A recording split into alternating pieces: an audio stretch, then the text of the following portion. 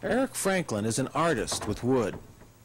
This is the first house he ever built, his own, located on Sixes River in Curry County. The house is the result of an unexpected inheritance, allowing Eric and Pat Franklin to invest $25,000 in materials and two years of hard work. The design results are striking, both from a distance and close up.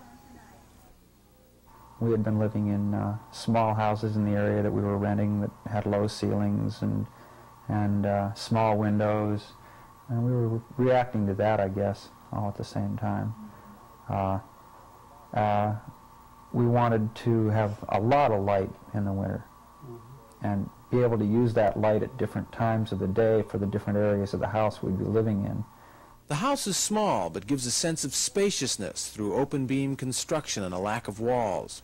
Each room simply flows into the next. The construction process was not so fluid, though. The couple report numerous clashes over design as the house took shape, but the results, as seen in the kitchen, are a creative combination of art and function. With time, the memories of conflict fade and the excitement lingers.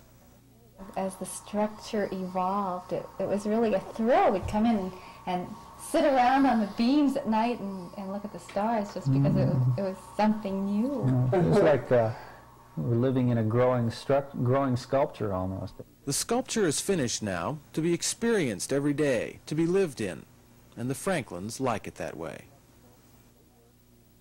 Uh, I've always liked boats and woodwork and, uh, and fine furniture, and I wanted the house to be a, a, a live-in cabinet, something that you, you tuck yourself into a drawer and slide into it and just really enjoy it. And that's what it's become. This is Bill Bradbury reporting from Sixes River in Curry County, Oregon.